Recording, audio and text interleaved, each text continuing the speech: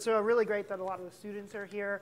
Uh, about midway through, we're going to do a little bit of testing that you would do on people with concussions. And luckily, one student has volunteered to do that, so you'll get to, you'll get to see a little bit about how we assess concussions. Um, so let me just tell you a little bit about myself. For those that don't know me, uh, I'm a licensed psychologist. I'm a clinical neuropsychologist by training. I have specialized training in sports-related con concussions and the long-term effects of those concussions, particularly uh, the dementia that results from, from concussions. And joining me today is Laura DeCoster, and Laura's over here, and she's going to talk first.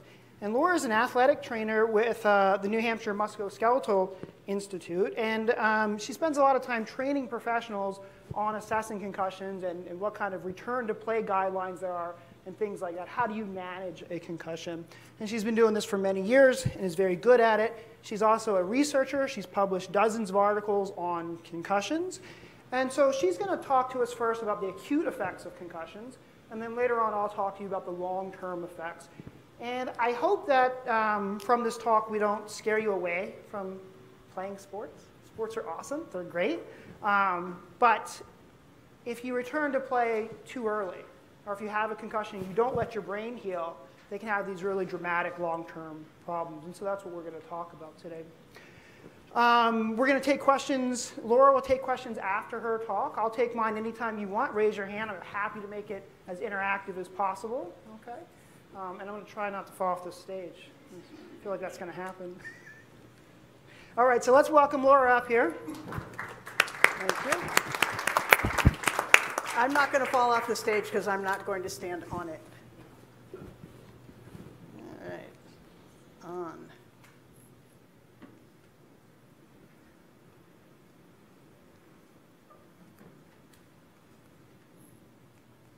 Looks like me. Thank you, Daniel.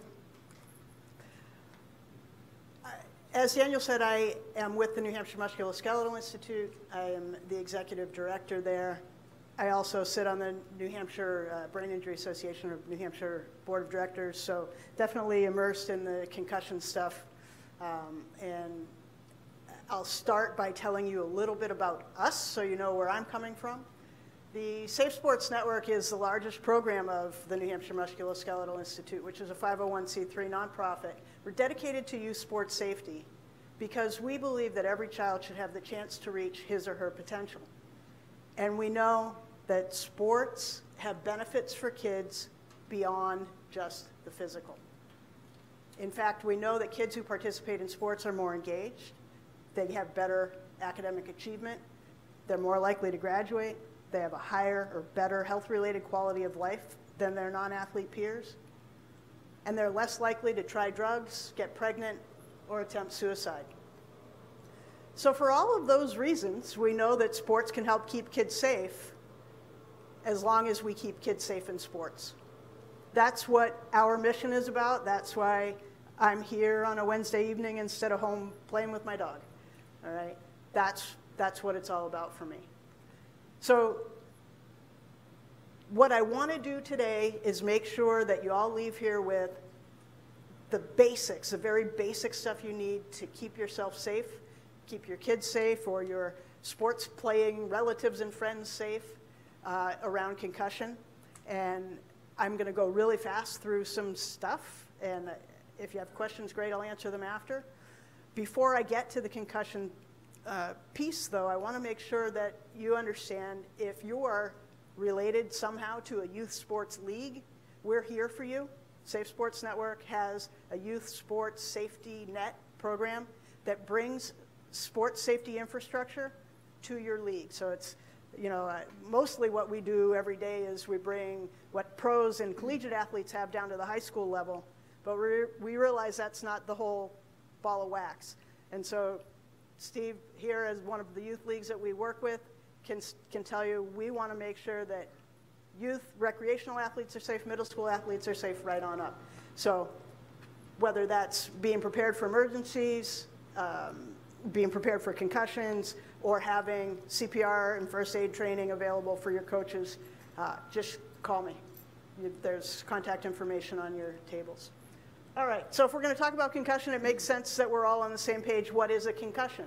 Concussion is a brain injury. That is key. The old terms that used to be you know, thrown about, the ding or a bell ringer, no longer politically correct because they tended to minimize the importance of this injury. I mean, how much more important can you get, right, than injuring your brain? So a concussion is a brain injury that can be caused by a direct or an indirect blow. Obvious, we can get hit in the head and have a concussion. Maybe not so obvious, we can jolt our head, think whiplash, brain flies back and forth inside the skull, even if the skull doesn't actually get hit, concussion can result. So concussion is a brain injury that can be caused by a direct or an indirect blow that's characterized by a rapid onset of signs and symptoms that may or may not include a loss of consciousness. May not, okay? We don't have to have a loss of consciousness. And you're going to learn right now that I say things, I repeat things that are really important, and that's a key point. So we'll come back to it. A concussion is a brain injury that can be caused by a direct or indirect blow to the head, characterized by a rapid onset of signs and symptoms that are generally short lived. Most concussions resolve within one to two weeks, but that leaves 15% of people, right? 85% resolve, 15% don't resolve in that one to two weeks, and taking care of them is a big uh, issue. And lastly, a concussion is a functional impairment, it's not structural. What does that mean? What that means to you today in 2016 is we can't see it on neuroimaging studies. CT scan is going to be normal an MRI scan is going to be normal, and there still can be a concussion present. We're going to come back to the, that again also. So that's what a concussion is. So we've got all, it took me a whole slide in five minutes to tell you what a concussion is. How are you, non-medical people, supposed to recognize it? And recognizing it is important because that's what the last 15 years of all this press has been about is a lot of concussions were going unrecognized. And even though concussion research is crazy. I mean, we're getting 10 or 15 new peer-reviewed journal articles every week.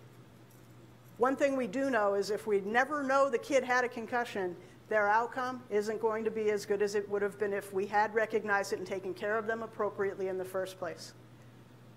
That's why I'm here.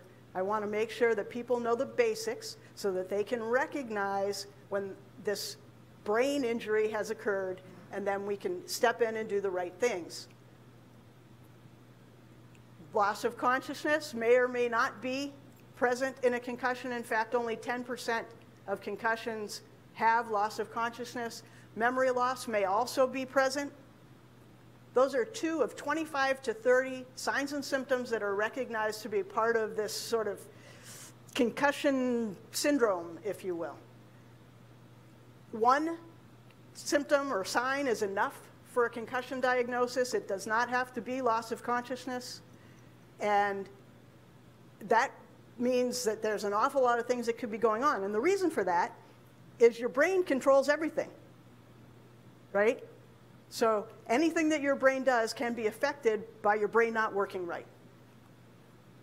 In that scenario, then, how, how do we know? How could you be expected to recognize a concussion? So hopefully you can see that, and the lights aren't too bright. So this is one picture you might see. This kid looks like his head hurts. I think. A picture I don't have is the deer in the headlights, blank stare, sort of glazed eyed look. That's what a concussion looks like. Okay? Signs and symptoms, though, there are four main categories that signs and symptoms of a concussion fit in right now. That's how we're, we're shoehorning them into different things. So the first are the physical signs and symptoms headache, 10% have loss of consciousness, 90% have a headache. Okay? They might be dizzy, they might be drowsy, they might be nauseous and vomiting, they might be sensitive to light or to noise. Those are the sort of physical category. And I'm not going to give you an exhaustive list here, I'm just going to give you information so that you understand the basic categories. Cognitive effects, right? Your brain, everybody knows your brain's for thinking. So you might be confused. You might have a hard time concentrating. You might feel foggy or feel slowed down, people complain about. Those are the cognitive uh, signs and symptoms. Your brain controls your emotions too. As much as we might say it was a gut feeling or I felt it in my heart, it's still this thing up here. And so people who have a concussion uh, likely have some sort of emotional component. They feel depressed, they're foggy, they, uh, I'm sorry, they're crabby, they're sad, they're irritable. They're, if you know this person, they're not themselves. They're just not quite right. So those are the emotional component. And we'll round out with a fourth one, and that is some sort of sleep disturbance. Not enough sleep, too much sleep, can't fall asleep, can't stay asleep, can't wake up. Fill in the blank. All right, those are the four general categories and some of the 25 to 30 signs and symptoms that are recognized. Overwhelming, right? Do I have to remember all of that? No, you don't have to remember all of that. You have to remember that anything your brain controls might be off and be sensitive to that. But you also have to know which things really truly are important and which things make you want to call 911. All right? There's only four bullets on this slide, and the first two you don't really need me for. Because if someone's unconscious, they're not responsive to you, I'm pretty sure whether you came here tonight, you were going to call for an ambulance. Just guessing. There are a couple things within this bullet, though, that I want to point out. Extended or late loss of consciousness. Extended in the scope of concussion might be 15 or 30 seconds because most concussion, loss of consciousness episodes are momentary. What does momentary mean? You're running down the field, you catch the ball, you get hit in the head, you're out. You know he's out if you're watching it on TV, right? Because he fell down face first without ever putting his hands down. But then by the time someone's out to him, he's, you know, he's groggy, but he's no longer unconscious. That's momentary. On the other hand, if you're on the sideline and the play happens and everybody else gets up and you realize, oh, Johnny didn't get up, and then you go out to Johnny and Johnny's still out, in the concussion world, that's extended. Okay? I would call 911 in that scenario. Or late. Okay, a lot of the things on this red flag slide are going to refer to things that indicate increasing pressure inside the skull whether it's swelling or bleeding, those are still brain injury, more serious than a concussion, which isn't structural. We could get into that, but that would be a whole other talk. Um, and so, whether or not you have that initial momentary loss of consciousness, if you later lose consciousness or have a decreasing level of consciousness, you're lucid, you're making sense, and suddenly you're not, you know, you're looking at a kid who was making sense talking to you five minutes ago, and now he's confused, and that's not something you want to sit on. Okay? It might be fine. It might turn out to be nothing, but better safe than sorry. Seizure and posturing activity. Again, you don't need me to tell you. If it, first of all, in both of these cases, we've got prolonged unconsciousness, right? But if someone's having a seizure or if someone's, you know, rigidly flexed or extended, you're probably going to call 911. You didn't need to come here tonight. I didn't need to come here tonight for that. But it's something that should be pointed out. We get a little bit less clear, though, when you get to this vomiting bullet. And you'll see I've got repeated there because the medical advice is you want to look for repeated vomiting. Well, if I have a mechanism of injury, I got hit in the head or I had my head jolted, and the, the, the child I'm working with vomits once, I'm probably going to call. And I am a medical professional. All right? I'd, better, I'd rather be safe than sorry.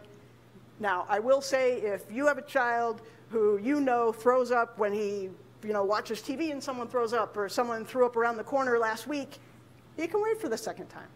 All right? Some of those things are just sort of gut calls, clinical calls, and based on knowing the kid. And finally, and this is the one that's most important to me. You need to be alert, and, and what's behind it is you need to be alert for signs or symptoms that there's pressure increasing inside the skull. What are those? You know, you're, you've got a headache that's maybe 3 out of 10, you're sitting there doing nothing, and suddenly your headache is 8 out of 10. You didn't go out and run a marathon or play your video game for two hours. I'm not talking about I feel worse because. I feel worse for no reason. All right?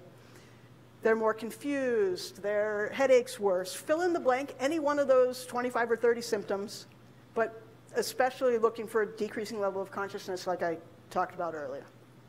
All right. Generally speaking, although concussion signs and symptoms do evolve over time, we want them to sort of look the same or be getting better. We don't want sudden spikes of worseness, if that's a word. Other things that you should be aware of when we're dealing with young athletes is it looks like kids have more concussions than adults have.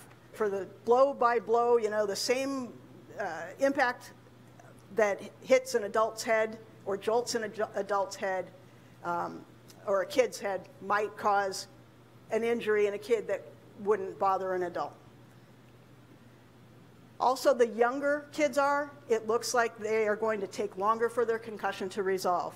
I mentioned earlier 85% within one to two weeks. Well, at the college level, that's more like 90%, and at the high school level, that's more like hmm. 75%. You're looking at the youth level, that might be longer. Kids are more likely to suffer from long term problems than adults, and whether that's long two months or long two years, um, it, the research makes it uh, look like that's the truth, that kids are going to suffer from this a little bit longer than adults are. And I heard some people talking about second impact syndrome earlier. Kids have an increased risk of second impact syndrome. That's, they got a second blow to the head before the con first concussion had resolved. Why do we care? We care because it's 100% bad news. 50% of those kids dies, die, and 50% of those kids, you know, can't talk, can't walk, can't function after. We don't want second impact syndrome. It's fortunately very rare, but this is why we are so focused on making sure kids are returning safely. We talked about concussion being structural, sorry, functional, not structural, because we can't see it with common imaging techniques. Uh, I will let the cat out of the bag a little bit. There's great research going on. There's some functional MRI. There's some EEG stuff. There's some blood tests coming. Something's going to happen so that we've got an answer to this, and it's not an all clinical gut feeling, and we're not relying on a kid who's got some other motivating factors to lie to us to tell us how he's feeling. Something's going to happen. But right now, we can't see a concussion a negative CT scan, and this is why this is important to a lay population, a negative CT scan doesn't mean you don't have a concussion. So don't take your child to a hospital. I understand you're scared to death. And the doctor wants to send you home with a CT scan. Believe me, if the doctor's worth his salt, that is a good thing. Because the doctor's looking for those symptoms that make it look like there's increasing pressure inside the skull before he's going to pull the trigger or she's going to pull the trigger and risk this huge amount of radiation on a growing brain. All right? It is not indicated in the absence of signs and symptoms that make it look like there's a uh, worse brain injury there. So, what's a person to do? We can't see it, right? How do we know if someone has a concussion? Well, maybe we can do some testing of brain functions, right? That's what we're talking about. The brain's maybe not working the obvious stuff cognitive assessment, memory, reaction time, concentration, balance, vision, both static and dynamic. All of those things are useful to a clinician in an effort to try to identify when a concussion has resolved. Those things are not diagnostic and they're not perfect. Really important for you to understand because you know media grabs on to oh, this concussion test is going to say if you have a concussion and it's going to say when it's safe to go back, and it's just not the case. There are lots of weaknesses in all of these tests. They're not a blood test. They're not, you know, you break your leg, you go get in an x ray machine, they shoot a picture, it's broken. That is diagnostic. We don't have that for a concussion yet. All these tests are as an indicator of when you're back to baseline. All right? So if we're lucky enough that the child who's concussed has a baseline test and we try to get out there, we did 2,500 baseline concussion tests last year. Try to get out there, do as many as we can. And we have the results of their memory, reaction time, concentration, balance, et cetera, so that when they are concussed, we can wait for them to feel better. We can test them again to see when it looks like their brain is functioning the way it was before they got knocked in the head.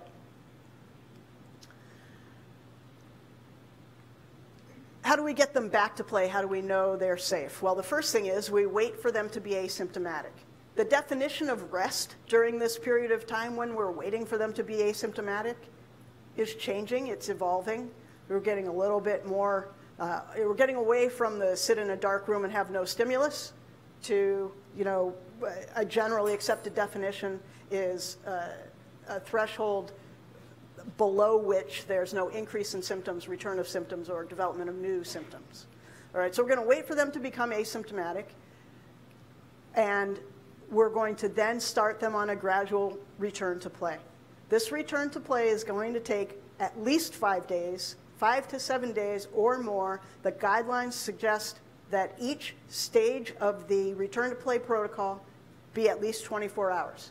I've said at least and I've said or more. That's because this is a clinical feeling. Remember, we don't have any tests for this. This is clinical, and the better your clinician is at this, the better. But one thing I'll just throw out there is if it takes six weeks for your child to feel better for his concussion, rushing him back over five days might not be the best move. All right? We might say 48 hours at each level. But that's what's behind that. So they're going to start with light activity. They're going to progress to, to more sport-specific activities and drills where we're still protecting them from getting whacked in the head. You know, whether it's in no equipment at all or they're wearing the red penny like the, the guy in the middle.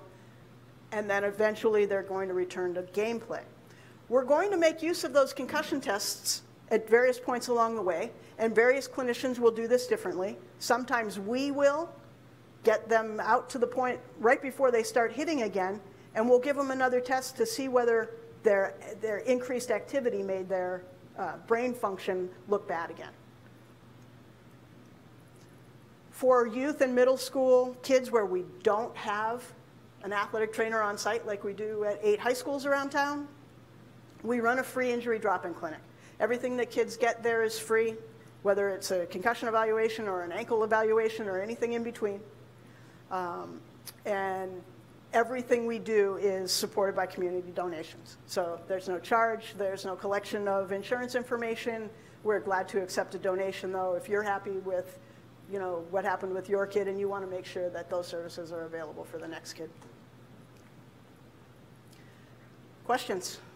If I have time. Do I have time? Okay. Yes. Yes.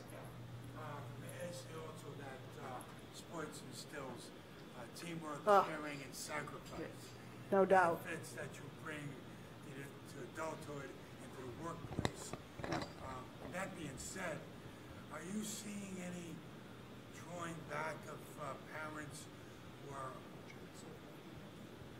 who are unwilling to uh, have their children engage in certain activities? So the, the question points out very, very accurately that not only does sports benefit kids in the ways that I mentioned, but teaches things that, boy, how else would you teach teamwork and responsibility and, you know, you're part of the team and how the team all falls down if you don't do your part. Sports, it's incredible way to achieve all of that stuff. And we are living in just, uh, you know, Daniel's alluded to it earlier. We don't want people to say, oh, well, my, my child's not going to play sports because these things happen to, you know, maybe 15 or 20% of the athletes that are out there. And hopefully they get the right care. And sometimes bad things happen and there's absolutely nothing we can do about them.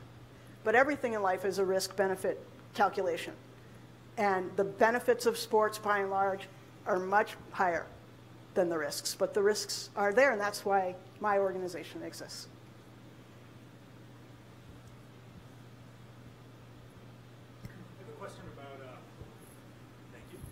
Um, so my question is, I guess it's a two-part question. The first is sort of about um, the types of sort of actions that lead to concussions. The, I guess the difference between sort of like an impact versus uh, more of like a brain shaking type injury, where someone is, for example, moving in one direction and then abruptly is stopped, or if they're falling and they hit the ground like that, it's like the brain sort of gets shaken inside the head as opposed to just an impact. Um, and how that relates to the way we think about designing protective equipment, especially for children because their neck muscles aren't as strong. Like, it seems to me as helmets get more protective, they get bigger and heavier, which seems like it might actually increase the sort of centripetal force when someone is like abruptly stopped, and therefore it might almost increase the danger of uh, the head being almost like shaken. And I don't know if if people have talked about this or thought about this or what the prevailing views are on it. Uh, There's a lot of research into equipment. There's a huge race to find the concussion-proof helmet, which probably doesn't exist because, you know, we can pad outside, but we can't pad inside, and the brain's still likely to hit the inside of the skull. Although there is some new technology that's sort of absorbing some of that outside so that it doesn't happen inside as much. Um, whether anybody's thinking about it, absolutely. We've got the NFL, GE, Under Armour Head Health Challenge grant that's a half a million dollars per researcher each year um, that's going out. And in fact, you guys um, may be aware with your UNH connection, um, one of my close colleagues and a member of our board of directors, Eric Swartz at UNH, got one of those Head Health Challenge grants, not on the equipment level, but on the, on the question of, does it make sense to train tackling without the helmet in place so they develop body mechanics that keeps their head out even when they have their helmet on? And does that reduce the number of hits, training them that way, does that reduce the number of hits that they take or give when they actually have the helmet on? And so far the data show, yeah, it's working. So that, there's a lot of research on that.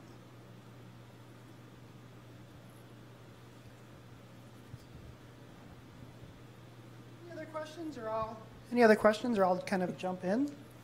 I got, I got a quick one. You said kids suffer more long-term effects typically. Is that due to non-reporting, you think?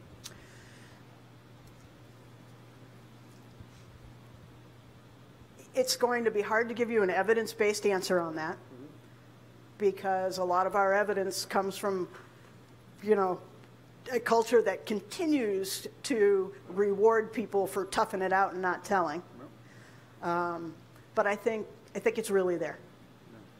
Uh, you know, I think there's just a difference in, in the recovery. And there's uh, controversy or discussion or debate, I guess is the right word, around, you know, is a child's brain have better plastic, plasticity and therefore more likely to heal better, or are they, you know, young and more vulnerable?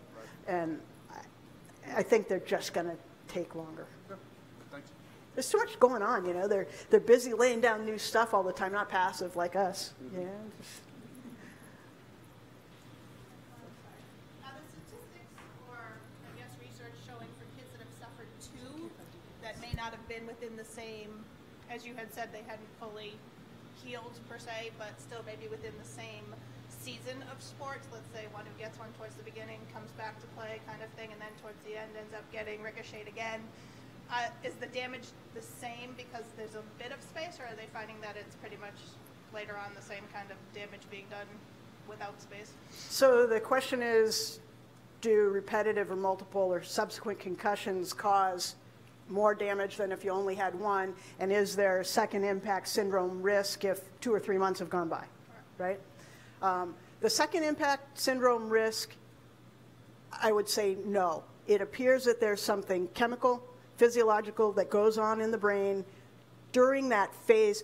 And a, a concussion is definitely, there, there are definitely chemical markers of it. There are things going on chemically, and they think that something about that, that chemical situation triggers what is basically, and, and it may be too much information, but it triggers the brain to swell immensely and rapidly such that within five seconds your brain shoves out of your skull, and that's what kills people. Um, to address the other part, there is definitely a higher risk of subsequent concussions. If you have one concussion, you're definitely more likely to have your second concussion and your third concussion. And there's still a lot of research now into whether the effects of those are additive, but I think the answer is yes. Um, I, and I think that's only going to get clearer.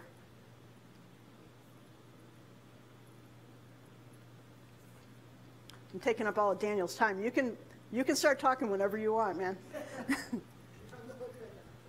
Do you know what the, the, the long-term 10, 20, 30-year consequences are for someone who, I had a student who had multiple concussions during her high school days. Yeah. does she have something to worry about when she's 30 or 40 or 50? That Well, someone who I think didn't? that's going to be the, th- everything that Daniel's touching on.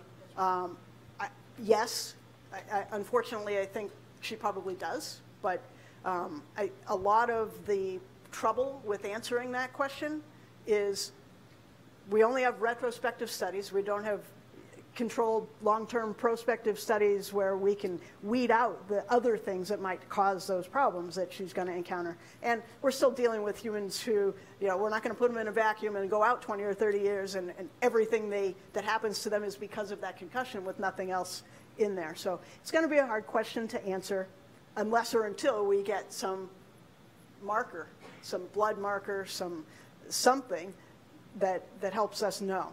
And the last thing I'll scare you with is we're talking about this one to two weeks, and kids are people are back to normal, and and we're putting them then through a five to seven day return to play, and we're sending them back, and they're back to school, and they're back to all their classes, and there are at least two studies, and these are from getting to be four and five years ago now, so there are probably more that show that those people still have EEG changes and they still have functional deficits. And our brains are plastic and they find ways around them, but when they test those specific things, they aren't right. So, whether, whether someone's ever resolved for a from a concussion, don't know. It's still an unanswered question. Thank you very much, Laura. That was mm-hmm. fantastic. Can we give her a thank you? Thank you. So, uh, that was a great question by Steve, and so I'm going to follow up on that. My talk is going to be uh, about the long-term consequences associated with uh, with concussions. Before we do that, uh, Laura had mentioned that there's a lot of different testing that can happen to evaluate somebody who's had a concussion. And what you want to do is test before, so you get a baseline, and then test them later on and see how they've changed, right? And if they're doing much worse later on, we're going to say, hey, the brain's still not working right, okay? And some of that's cognitive testing and some of that's balance testing. I thought a fun way to start would be to test some balance testing so you guys can see the, the testing that we do to evaluate concussions. And I know I have one student that's willing to volunteer, but I thought it'd be fun if we can get a student and maybe a faculty member. Or, or, or maybe a, or maybe a dean. Just, uh, you like, all right, Nick. So, so come on up. So this is a test we do to assess balance. And remember, concussion can affect balance. It can uh, affect cognitive or affect cognitive skills. But this is balance. So come on up, guys. It's definitely a competition. All right. Stand on one foot. So this is, we're going to make this a competition. It's going to be more fun that way. Um, but this is a test that we use clinically. I'm just going to do certain pieces of it just for time, okay? Just so you guys can get a feel for it. The first thing we need them to do is take off their shoes. Sorry, I didn't tell you that, did I? yeah. Hope the socks match. And this test is called the balance error scoring system. It's, it's one of the methods we use to assess balance. And you do these tests both with your eyes open and then again with your eyes closed. But just so for time, we're going to skip to the fun part with the eyes closed. So can I have you guys both stand on the mat? And we're going to start with an easy one. And what we would do clinically is we would give these tests and we account for how many errors they have, how many times they move out of their place, if they fall over, things like that. Hopefully they won't fall over. We'll see. so the first one's very simple. They're going to put their feet together, hands at your hips. When I say go, you're going to close your eyes for 30 seconds, and we're going to look for any kind of movement in your body, any tiptoeing, any kind of balancing like that. And fair warning, this is the easy one. It's going to get worse. All right? Uh, we'll, we'll make it quicker. We'll make it 15 seconds for time, okay? All right, so on three, close your eyes. One, two, three.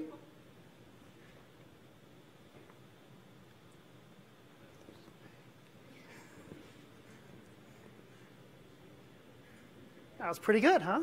All right, you guys can open your eyes. Good. So now, next one, what I'm going to have you do is put your dominant foot in the front. So if you're right, yep, awesome. And your non dominant foot directly behind it. heel to toe, so you're touching. Fantastic. Nick's already looking bad. and I, I won't let you guys fall, I promise. Same things, uh, hands at the hips. And again, clinically, we would do this before and after, and we would look for changes and, and for any kind of errors in their balance. So, uh, you guys ready? Should I be more concerned about Nick? I'm going there. All right, so on three, close your eyes. One, two, three.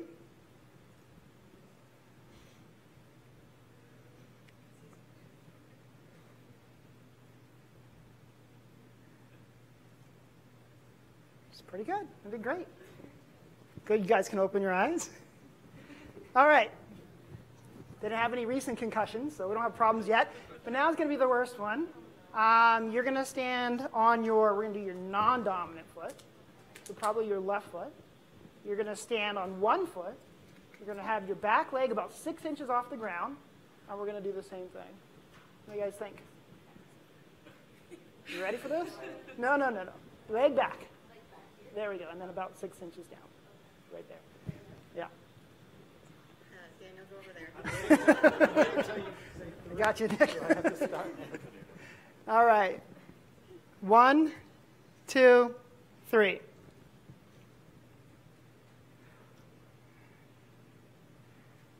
Oh, there's an error. There's more. Really just one. Oh, All right, so that's good. Good job, guys. Thank you.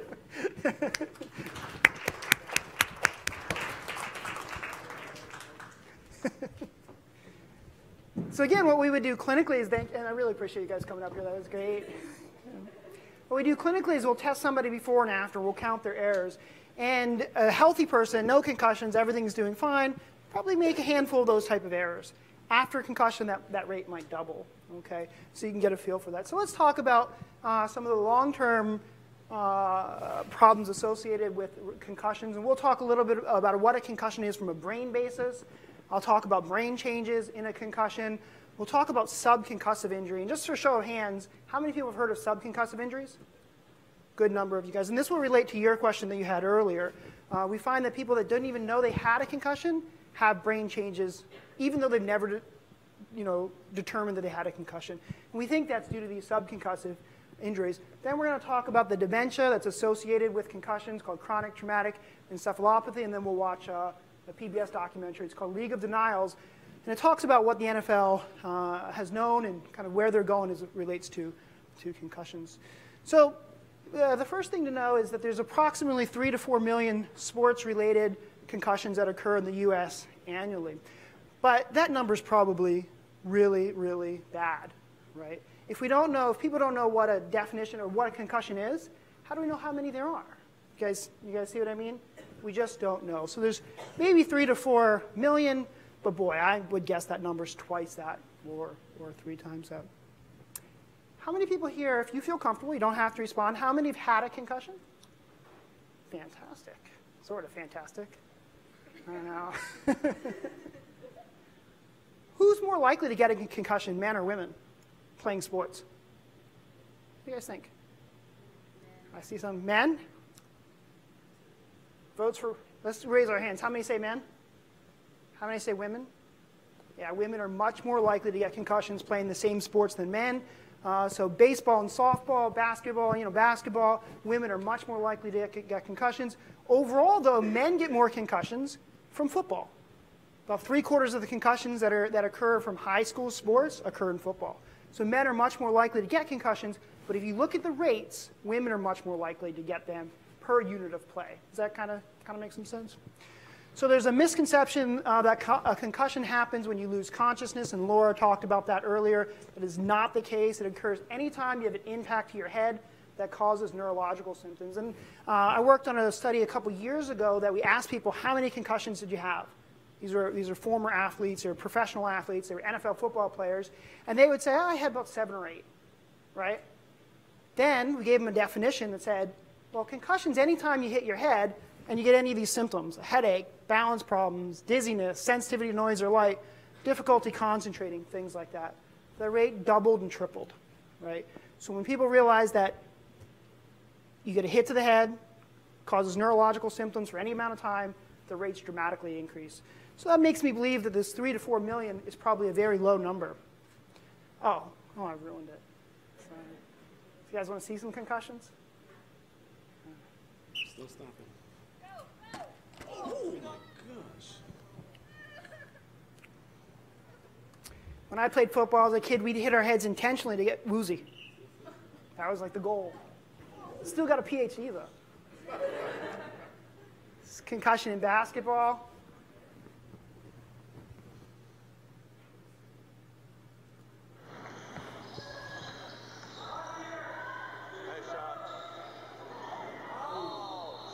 Pretty severe. Some of you guys have seen this. So concussions, of course, happen in sports, but they also happen in regular life. Um, I play this because mostly I think it's funny. Um, everybody know what a trust fall is? Right? So you stand there, if you trust the person, you fall back, they catch you. If they don't catch you, bad news. Right? Could have a concussion. So here's, uh, could happen in everyday life. And close your eyes and just fall down, okay? Don't worry. Okay, then Lauren's gonna Close your catch eyes, you. Close your eyes. Okay. Okay, it's called the trust fall. Okay, trust fall. Ready, set, go. Could have caused a concussion.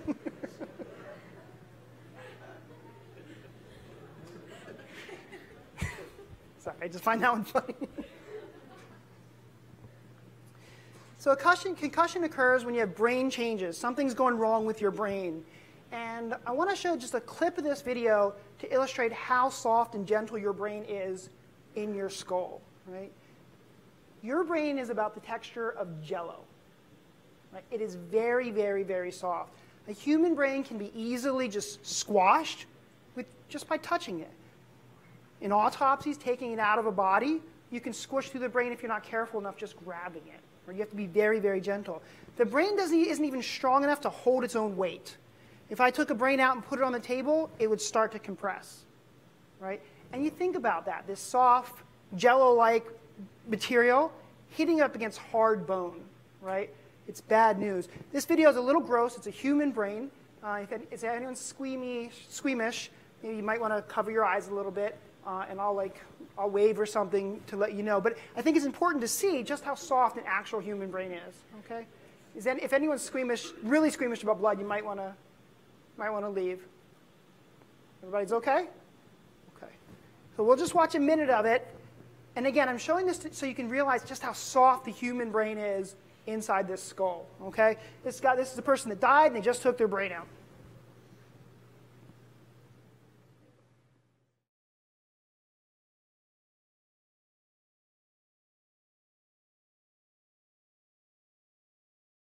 Students think that the brain is sort of the consistency of a rubber ball, and that's because in the laboratories and teaching specimens we have fixed, formalin fixed brains. However, if you're a trauma surgeon or a neurosurgeon, you realize that the brain is really very, very soft and much more vulnerable than the impression you get looking at the fixed brain. So I would like to show you a 1400 gram brain that has just been removed from an autopsy. And we are fortunate enough to be able to show you what a normal, unfixed, recently deceased uh, patient's brain would look like. This is the ventral surface of the brain. And what you see are the uh, pial vessels, this nice blush with the clear leptomeninges and the vessels running in between the arachnoid and the pia. The cerebral spinal fluid has leaked out through the cisterns, and so the subarachnoid space is no longer visible unless I move the brain, but it's very, very soft. Notice, it's, it's totally squishy. It's um, the consistency it's much softer than most of the meat you would see in a market. So if I were to pinch this in either way, I could easily damage this with my thumb. In fact, neurosurgeons, when they are doing surgery, often just evacuate with a vacuum or suck out parts of the brain. This string here has been placed around the basilar artery so it can be suspended in a bucket of formaldehyde in order to denature the protein and harden it.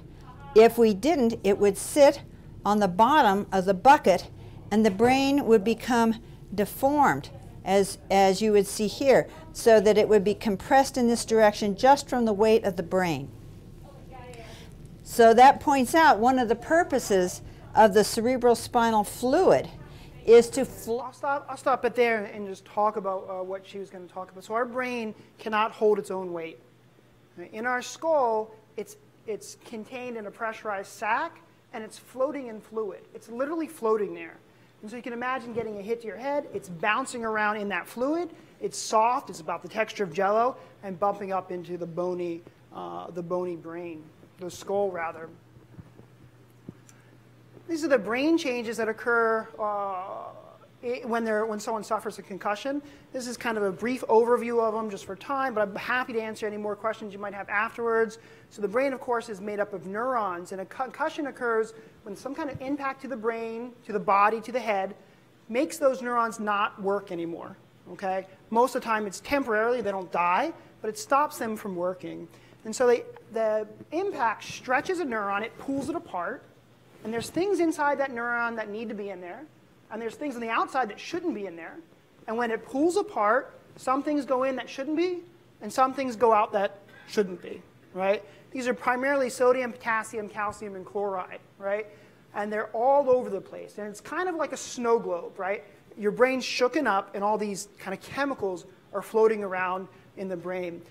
And while those chemicals are floating around, the person has symptoms of concussion. So when they have a headache, or they can't balance correctly, it's because sodium, potassium, calcium, chloride are all over the place. They're not where they need to be, and the neurons can't fire. And that's what is uh, a concussion. And so while the neuron is off, the person feels the symptoms of a concussion. But a concussion really is just the tip of the iceberg.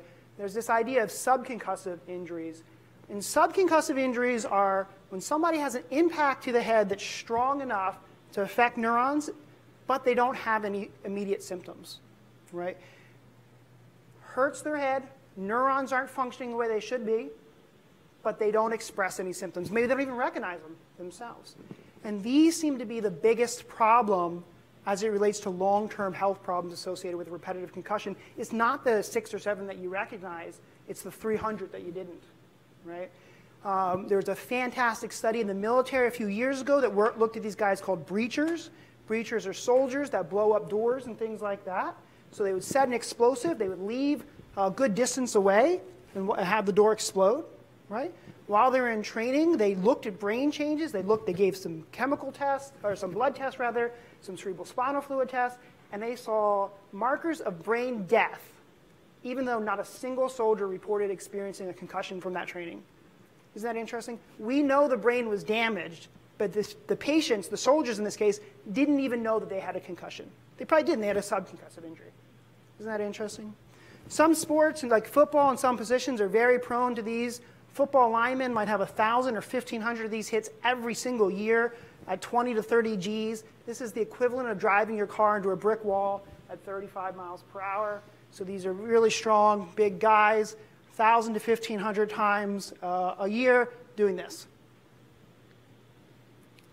1,000 to 1,500 times driving your car into a brick wall at 35 miles per hour. That is insane. In most cases, the brain returns to normal activity within a couple weeks, like Laura talked about. However, repetitive exposure to concussions and subconcussive injuries has been associated with a brain disease that causes dementia. And, and one way to kind of resolve this might be if we have enough rest in between. That we you know, don't have repetitive concussions over and over. So this next slide, I want to show you some results of a study that I'm currently working on here at Manchester with a couple of students. We collected a survey last year asking people about their concussive experiences throughout their lifespan, right? And we also asked them, of these concussions, of all, all these that you've had throughout your life, how many did you return to your normal activities before you didn't have any symptoms anymore? Are you guys with me? Right? And so in this study, 65% of people who suffered a concussion returned to normal activity before their symptoms resolved. 65%. Most people. Isn't that interesting? It's fascinating. And then we are interested in knowing about, well, when were these concussions occurring in their life and when were they returning back to play? And what we found is that elementary school, middle school, and adults were doing the worst. The group that was waiting to return to normal activities when they were asymptomatic, when all the symptoms resolved, the most were high school players. Isn't that interesting? So high school seemed to be doing the best. But everybody's doing bad. So chronic traumatic encephalopathy is not a new disease. Will Smith movie came out last year. It was awesome ads. They were great. Right? And the kind of line to sell the movie was this is a new disease. It's not a new disease right? This disease was first discovered in 1928. It was called punch drunk. It was written in the Journal of American Medical Association as punch drunk. And it was called punch drunk because boxers were thought to, after they get hit enough, act like they were always drunk. They had like slurred speech and you know, couldn't walk right, things like that. And it was called punch, punch drunk, rather. A few years later, it gets turned into the term dementia pugilistica, or the dementia of boxers, and nowadays we call it chronic traumatic encephalopathy. Okay? Been around for a long time. We've known about the brain changes for a long, long time. Uh, it is not a new disease, but something big happened in 2002. In 2002, this guy right here, Mike Webster, died. He was only 50 years of age. And he, he was a Pittsburgh Steeler. He died in Pittsburgh. And the pathologist who was there that day decided to cut up his brain. To autopsy his brain. He said, something's weird here. It's not looking right cuts up his brain, and he finds CTE or punch drunk or dementia pugilistica, whatever you want to call it, in the brain of a football player. And this changed the game. Now we weren't talking about this disease in just boxers. Uh, we are talking about maybe in football players as well. Does that make sense? This is a big game changer. CT has only been found in people with repetitive brain trauma. That suggests that you got to have repetitive brain trauma to have this brain disease. It causes the brain to shrink off and die die. There's a widespread accumulation of this protein. It's called tau. Um, and it can only be diagnosed at death. Okay? The only way to diagnose this disease right now is when somebody dies, you cut up their brain. I know it sounds morbid a little bit. It's a little gross. You cut up their brain and you look for this disease. And that's what this looks like. These are two very thin slices of a human brain. This was a football player. Very thin slices that were stained for that protein tau. The protein turns up black on these slides. And I think you can see there the football player. Does everybody see that black marks? That's tau. That's bad neurons. That's dead neurons. On the left side there, we see a healthy brain, person who died of cancer, wasn't, a brain, wasn't brain disease involved, stained it for the chemical for tau, and it doesn't have it in there, right? So this is what the disease looks like. And if you want to know more about it, I'm happy to answer any questions you may have later on. This is a very, very short list of NFL players who have died with CT in their brains. So I mean that they have died, and a pathologist has dissected their brain and found CT in their brains. Very, very short list. I could have gone 100 players or more, right? Just to give you an example. In a recent study, uh, this is the BU's Brain Bank, which is thought of as the NFL's Brain Bank. 96% of those brains have been diagnosed with CTE. 96%, right? That's pretty much everybody, okay, of these NFL football players. Of course, it's different if you're talking about high school. We don't know that.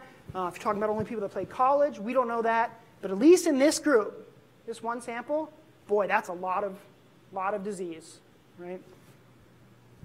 Some of the symptoms of CT, there's two different profiles. There's a younger onset that's associated with emotional problems, impulsivity, being irrational, depressed. And then there's an older onset that's associated with long-term problems with memory or problems with long-term memory. They develop dementia, problems with working memory, and things like that. And we're going to see that in the video. We're going to see a guy, we're going to see Mike Webster, uh, and we're going to see dementia in action. If you have never seen anybody with dementia, it's a really debilitating, obviously debilitating condition and really sad to see. Since 2002, when it was first discovered in a uh, outside of boxing, It's now been found in baseball players, hockey players, rugby players, soccer players, wrestling. We've seen it in a lot of sports now. It's been diagnosed in people in their teens who've committed suicide, and then their brains have been dissected. And of course, all the way up the spectrum to 80 years of age. So we see it in young folks, we see it in old folks. Of course, it's worse in the older folks. The disease pathology is worse, and I'll talk about why that might be. But it's found at all levels and uh, all age groups, and it's also been found at all levels of play, from high school uh, up. It's also been found in a, a, good number of military personnel that are exposed to blast traumas. It's the same mechanism of action to the brain. So it's not just boxers anymore. It's not just football players. We're finding it in a lot of people. All right, just have two more slides for you guys. This is a theoretical model of what CTE looks like. On the bottom there, you have age going, going across time. And on the left axis there, you have somebody who's ranging from normal to impaired. And the current thinking is that you have a concussion, and maybe you return to normal. You wait a couple weeks, everything's cool, and you're back to normal. And you have another concussion. I apologize, they're not showing up. It's supposed to be showing lines. You have another concussion, and everything goes back to normal. And then you have another concussion, everything goes back to normal. And then there's this gap period. Maybe you stop playing sports, and the symptoms don't appear for another 20 years. And then when you hit 40 or you hit 45, you start to have cognitive problems. You start to have emotional problems and things that, like that. There seems to be this delayed onset, and that's been attributed to an abnormal immune response that's going on during those 20, 30 years, continuing to eat up neurons, and the brain is slowly dying off over time. And we really pick up those symptoms when somebody starts to be about 40 and 50 years of age. So, so just to be clear, you may, someone might play sports for the first 20 years of their life, a lot of concussions. They may stop playing sports and be just fine. 20 years later, get the disease. They've always had the disease.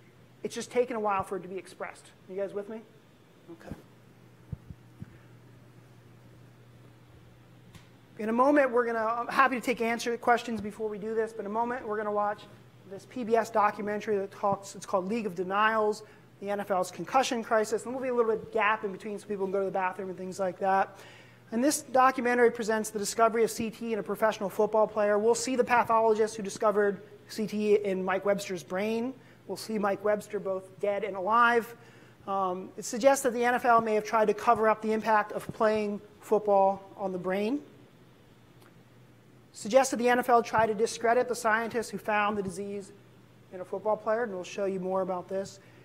And there's also been recent accounts of more of this going on. Okay? Uh, more of this, of an active attempt to suppress scientific finding. And I'm happy to answer questions about that if, you, if you're interested.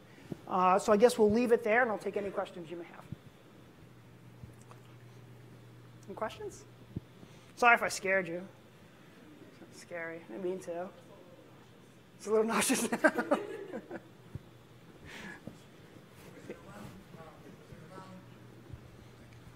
Was it around uh, uh, Mike Webster that this whole thing became a bigger focus?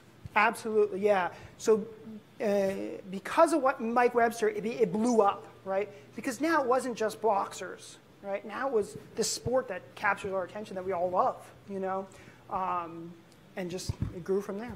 Yeah. And he's an interesting guy. We'll see some stuff. We'll see some videos on him. Have there been any proposed um, or put into action any like possible treatments between the phase of someone um, playing sports known to have a lot of concussions and then the time the the later symptoms? I, I love this question. It's a very, very, very good question, very important question.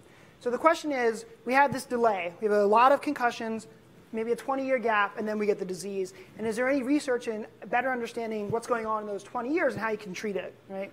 The answer for CT is no. It's only been since 2002, so nobody knows the answer to that. But this same model is what we know is true for Alzheimer's disease. So in Alzheimer's disease nowadays, we think that disease pathology is starting in somebody's 20s and 30s. It takes 20 years to develop into dementia, right? And a lot of drug studies are working on intervening at that time and changing the inflammatory response. Nobody's done that in CT. The model is still there. could be used that way, might be beneficial. Have, we'll have to wait and see. Has to be a long-term study. It's a good question. Any other questions? I feel like I scared you guys. I'm sorry. Yeah.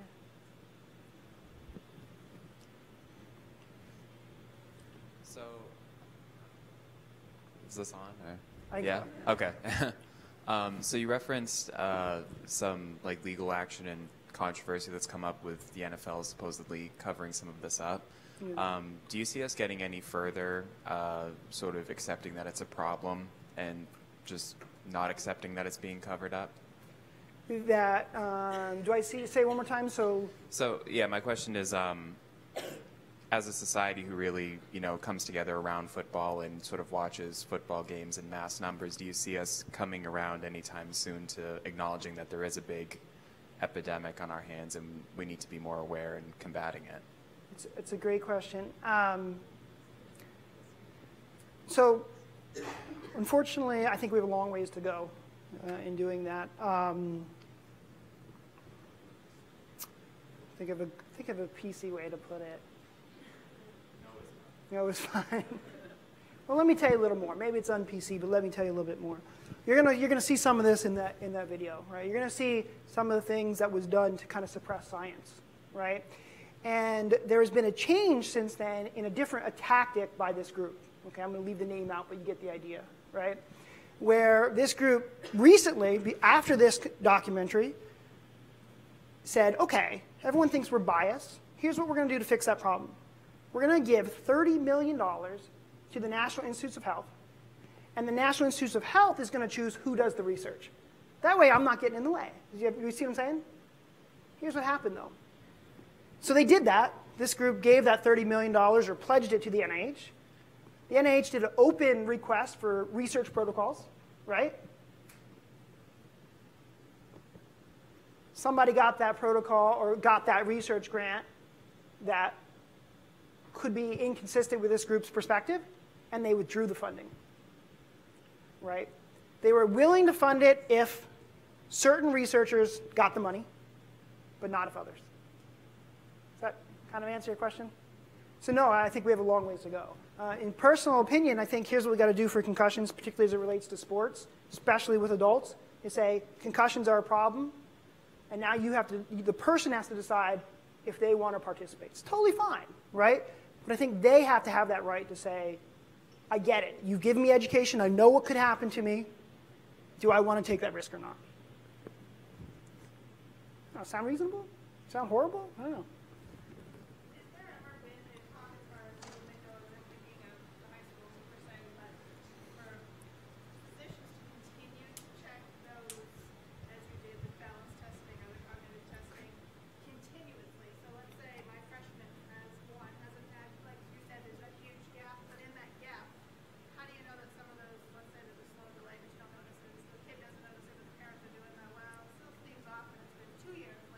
Yeah. As opposed to making a movement to have it done at a physical every year so that you still continue that baseline versus waiting until the next big trauma hits and then we start all over again. So having some kind of regular basis of doing those assessments so you can really track the change over time, I think that is a fantastic idea. Um, I don't know how that would get funded. You know, I don't know if health insurance companies would pay for that or something like that. But boy, I think if you want to understand the changes that could occur from these from these injuries, that's the best way to do it. Right? I don't I don't know practically how that might pan out. You know? You know?